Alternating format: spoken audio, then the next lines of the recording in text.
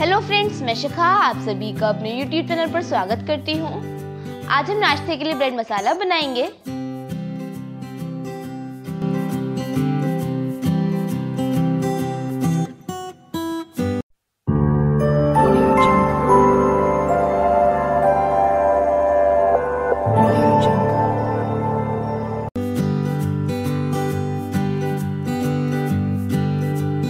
Bread मसाला बनाने के लिए सबसे पहले हम ब्रेड को छोटे छोटे पीसेस में काट लेंगे।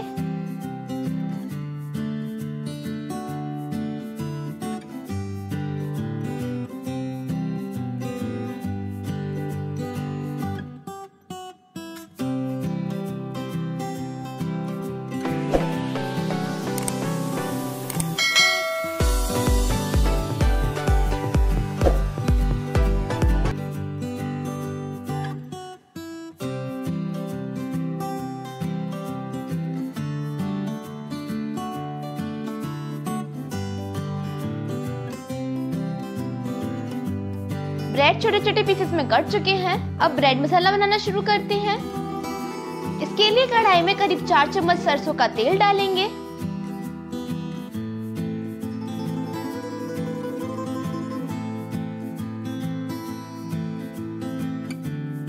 अब इसमें एक चम्मच राई,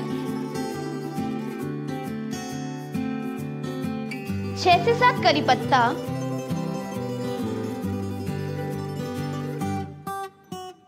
एक चम्मच कटा हुआ अदरक, तीन कटी हुई हरी मिर्च, एक टेबल स्पून उड़द की दाल। डालकर सभी को अच्छे से मिला लेंगे।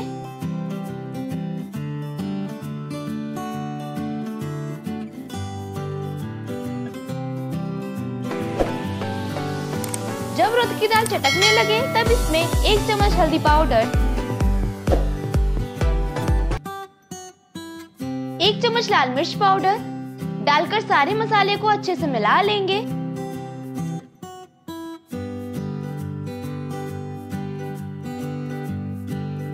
अब इसमें एक कटा हुआ प्याज डालकर चला लेंगे।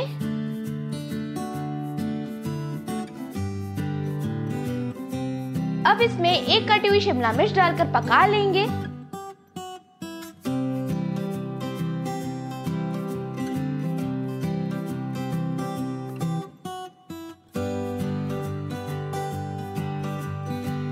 ये हल्की पक चुकी है। अब इसमें दो कटे हुए टमाटर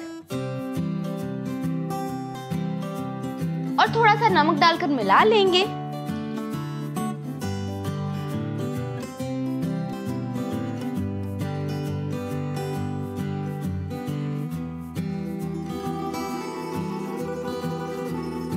अब सारी सब्जियों के गलने तक का इंतज़ार करेंगे।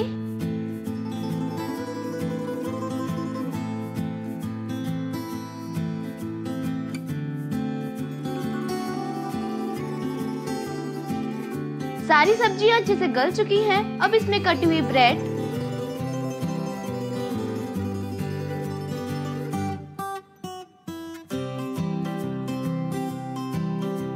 और डेढ़ चम्मच पावभाजी मसाला डालकर सबको अच्छे से मिला लेंगे।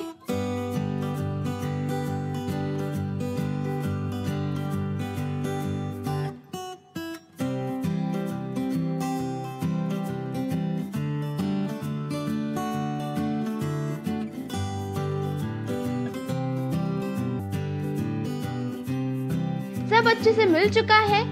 अब इसमें कुछ हरे धनिया के पत्ते डालेंगे और मिला लेंगे।